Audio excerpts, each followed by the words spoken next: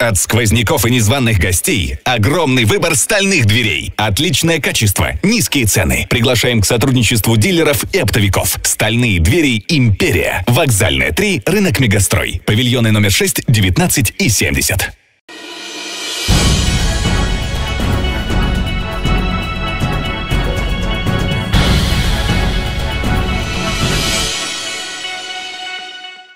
Мы рассказываем о том, что произошло в Чите и крае за минувшие сутки в эфире «Время Че». В студии Марина Лиханова. Здравствуйте. Спонсор выпуска – торговая сеть «Империя». Краевой суд вынес приговор двум могочинцам. Они обвиняются в убийстве своего подельника, вместе с которым забили чужую корову. На преступление мужчины пошли после того, как узнали, что полицейские заподозрили их подельника в хищении скотины. Забить чужую корову и вывести ее в лес для разделки туши. Такая идея пришла в голову Виктору Макрееву и Андрею Смирнову летом 2015 года. Совершить задуманное удалось. Корову убили из ружья Макреева, а вот вывести своими силами в лес не смогли. Слишком габаритная оказалась туша. Тогда на помощь пригласили общего знакомого Дениса Стрельцова, которому принадлежал грузовик ГАЗ-55 и который согласился погрузить скотину за часть мяса. Все прошло по плану, добычу поделили. Однако чуть позже Макреев и Смирнов узнали, что их приятель на крючке у следователей, которые ведут дело о похищении коровы. Опасаясь за то, что подельник может их выдать, преступники не нашли ничего лучше, как избавиться от соучастника. Взяв то же ружье, из которого убили корову, Макреев и Смирнов попросили Стрельцова о встрече. Тот, словно предчувствуя смерть, уходя, сказал близким, лишь бы не прирезали. С тех пор его никто не видел, и тело так и не нашли. Убийцы встретили Дениса в условленном месте и застрелили приятеля. Когда следователи вышли на них, оба признали свою вину в краже, а вот убийство отрицает и тот, и другой. Поскольку тело не было обнаружено, а, подсудимые полагали, что их по убийству Стрельникова оправдают, судя по их реакции. Показания, естественно, у них были о том, что они к этому не причастны.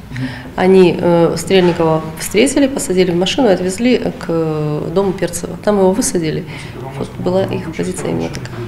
Однако даже сокрытие трупа не помогло подельникам избежать наказания. В ходе следствия выяснилось, что после убийства Макреев и Смирнов катались на машине с девушками, и одна из них заметила в багажнике что-то похожее на тело, завернутое в целлофан. Чуть позже подруги увидели, как в лесу мужчины достают из авто что-то тяжелое. По совокупности совершенных преступлений, путем частичного сложения наказания, назначить Макрееву Виктору Сергеевичу лишение свободы на срок 18 лет с ограничением свободы сроком 1 год 9 месяцев, назначить Смирнову Андрею Александровичу лишение свободы на срок 15 лет с ограничением свободы сроком 1 год 9 месяцев. После оглашения приговора осужденные не могли стоять на ногах, держались за головы. Они до последнего надеялись, что отсутствие трупа хоть как-то поможет им избежать наказания. Произвольно сели, ноги не отказали. Приговор понятен? Что такой срок-то дали? Вам приговор понятен?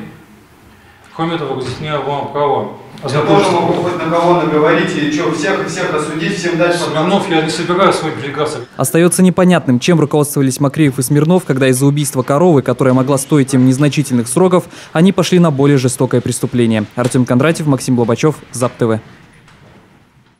Закуску выменил на бутылку. Дерзкое ограбление совершил 46-летний житель Первомайска. Мужчина якобы бродил по подъезду жилого дома и искал квартиру своей знакомой.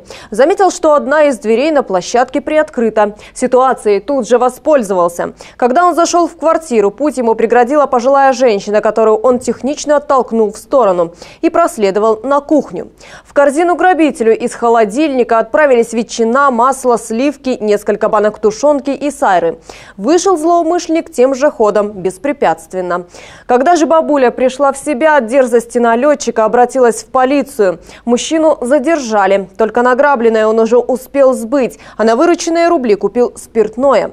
По факту возбуждено уголовное дело. Мужчина может лишиться свободы сроком до 4 лет. Золото ценнее жизни. Двое жителей Тунгакочинского района пойдут под суд за убийство напарника. Мужчины промышляли незаконной добычей золота. Работали в одной из заброшенных шахт неподалеку от поселка Вершина-Дарасунский. В один из дней приятели не поделили горнодобывающее оборудование, никак не могли определиться с хозяином. Спор решили поножовщиной. Так называемые коллеги по цеху нанесли потерпевшему множественные ранения. Тело убитого спрятали в заброшенной шахте. В мае этого года по факту безвестного исчезновения потерпевшего было возбуждено уголовное дело. Страшные обстоятельства вскрылись позже, подозреваемых в убийстве сразу же задержали. И о ситуации на дорогах края за прошедшие сутки зарегистрировано 34 ДТП. Четыре человека получили травмы. Сотрудники ГАИ выявили 809 нарушений правил дорожного движения. В Чите на улице Богомягкова 42-летний водитель Toyota Виц сбил пенсионерку 1931 года рождения, переходящую дорогу по пешеходному переходу. 89-летняя женщина получила различные травмы. В Шилке на улице Толстого водитель иномарки допустил наезд на велосипедиста, двигавшегося в попутном направлении. Велосипедист с травмами госпитализирован в больницу.